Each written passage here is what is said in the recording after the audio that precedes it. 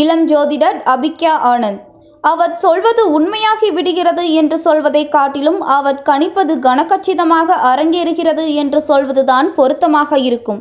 அப்படி என்னதான் சொன்னார் என்ற கேள்வியை நீங்கள் கேட்கலாம். உலகமே வைரஸ் பற்றி இப்போது பேசிக் கொண்டிருக்கையில் அதை கண்டு ஓட்டம் எடுத்து கொண்டிருக்கையில் இரண்டாயிரத்து பத்தொன்பதாம் ஆண்டில் மிக பெரிய அளவில் வைரஸ் தாக்குதல் நிகழக்கூடும் என்றும் யாரும் எதிர்பாராத வகையில் பொருளாதார சீரழிவு உயிர் சேதம் ஏற்படும் என்பதை கணித்து வெளியிட்டவர் சிறுவர் அபிக்யா ஆனந்த். வேதிக் ஆஸ்ட்ராலஜி கரை கண்டவராக திகழ்வது இவரது சிறப்பு.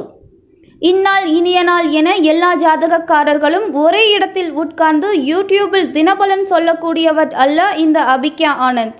துல்லிய கணிப்பு ஜோதிட சாஸ்திரத்தை கரைத்து குடித்த அளவுக்கு ஞானம் இவருக்கு உண்டு. பள்ளிக்கூடம் செல்லாமல் வீட்டிலிருந்தபடியே கல்வி பயிலும் அபிக்யாவுக்கு கணிப்புக்கலை ஜோதிடக்கலை தனிப்பட்ட பாடமாக இருக்கிறது. தந்தை தமிழராக இருந்தாலும் தாய் கன்னட இனத்தைச் சேர்ந்தவர் என்று சொல்லப்படுகிறது. விஷயத்திற்கு வருவோம்.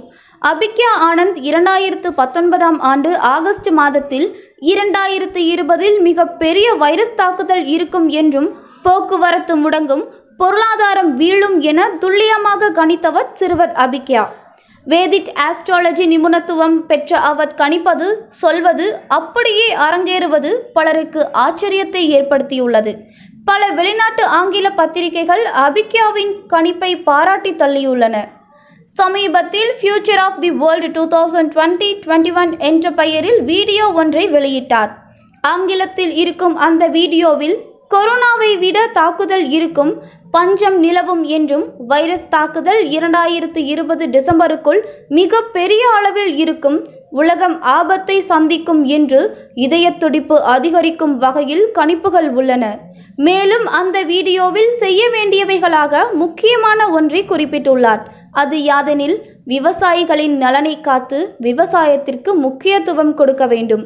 அவர்களால் மட்டுமே உணவு தட்டுப்பாட்டை தடுக்க முடியும் என்றும் உணவு பஞ்சம் ஏற்பட சாத்தியக்கூறுகள் அதிக அளவில் இருப்பதாக அந்த வீடியோவில் குறிப்பிட்டுள்ளார்.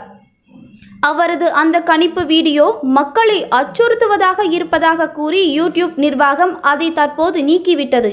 இருந்தாலும் அபிக்யா விடுவதாக இல்லை.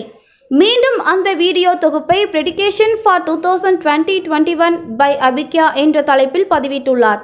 விவசாயத்திற்கு முக்கியத்துவம் கொடுக்க வேண்டும் விவசாயிகளை காக்க வேண்டும் என்ற விவசாயத்தை மட்டும் எல்லோரும் முன்னிலைப்படுத்தலாம்.